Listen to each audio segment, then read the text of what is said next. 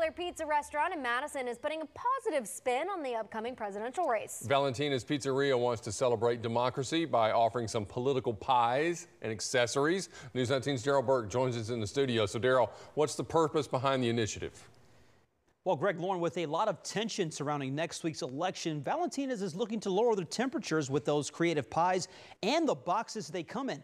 Valentina's owner Joe Carlucci says regardless of your political party, pizza is a universal favorite. Carlucci explained how it's their way of encouraging customers to talk about the election and democracy over their favorite pizza. The red and blue boxes the pies come in represent each political party, and on those boxes is some creative artwork featuring both former President Donald Trump and Vice President Kamala Harris.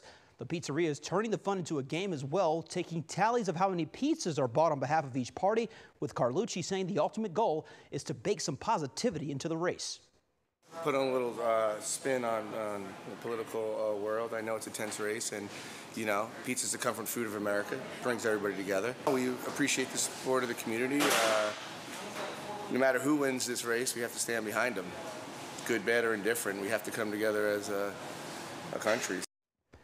Carlucci says they've got thousands of those boxes and plan to use them until they run out. But as you just heard him say, most of all, he'd like to see us all come together no matter the outcome of next week's election. Greg?